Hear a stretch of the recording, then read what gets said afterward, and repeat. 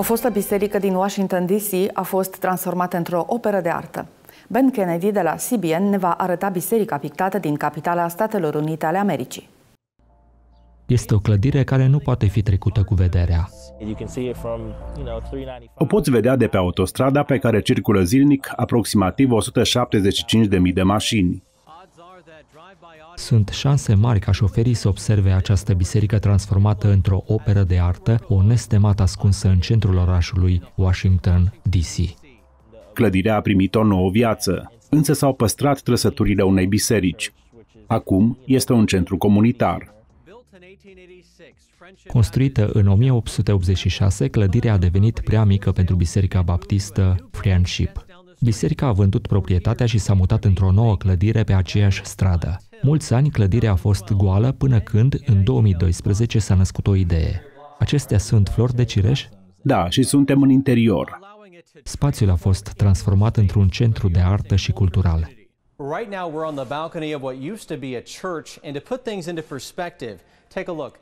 Ne aflăm la balconul fostei biserici. Aici stătea congregația. Imaginați-vă băncile, pastorul în față. Acum este un spațiu mare pentru diverse activități. Chiar și pianul a fost ajustat după arta modernă. Ne-am întâlnit cu artistul Alex Brewer, care timp de o lună a realizat picturile de pe peretele exterior al clădirii. A fost o provocare să realizeze acele picturi pe o suprafață așa de mare.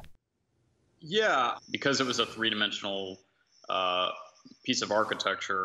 Uh, da, pentru că este o clădire tridimensională. Am vrut să arate ca o sculptură, prin modelele și culorile care au avut continuitate.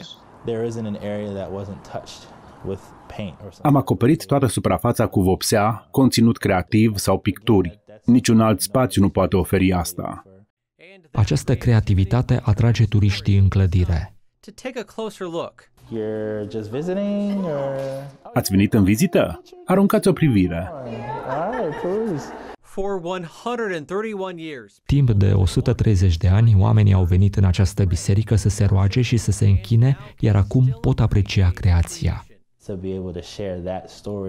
Vom putea împărtăși nu numai ce am făcut noi, ci și ce au făcut membrii fostei biserici.